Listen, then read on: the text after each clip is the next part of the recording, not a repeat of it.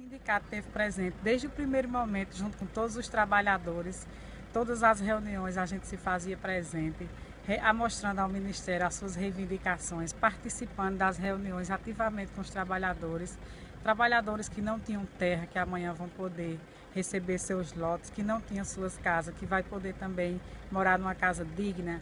A gente também até agradece deles ter lembrado da questão dos deficientes físicos, suas casas são todas adaptadas para recebê-los. Então estão numa expectativa e a grande realização do seu sonho, que é o sonho da casa própria. É um sonho, né, que está se realizando. Eu nasci e me criei aqui nessa comunidade. É, morava numa casa que não era minha, era morador. Mas essa daqui é uma casa nova, né? Que eu vou morar a partir de agora. E a expectativa é imensa, né? Se Deus quiser, tem que dar certo. A casa nova tá saindo, agora é vida nova, né? E agora, graças a Deus, a gente tá voltando pra cá, esperançoso, de voltar ao lugar que a gente nasceu e se criou, digamos assim. Surpreendeu até.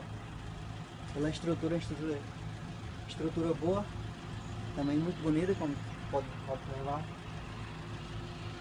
É melhor do que a que a gente morava. Antiga, porque a casa da gente era um pouco velha. E a gente saiu no lucro, digamos assim.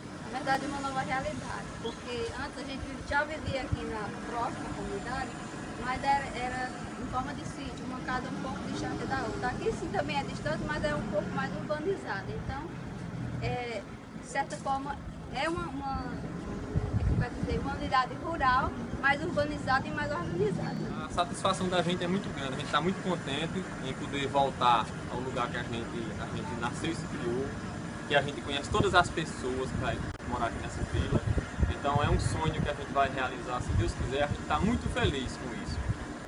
É, a casa ela, ela, é diferente da que a gente morava, o ambiente também não era assim, é, as casas são mais próximas, é, tem posto de saúde, tem sede de associação, tem praça, campo de futebol, quadra esportiva, que era coisa que a, a, a comunidade da gente tinha algumas coisas dessa, mas é, outras a gente não tinha.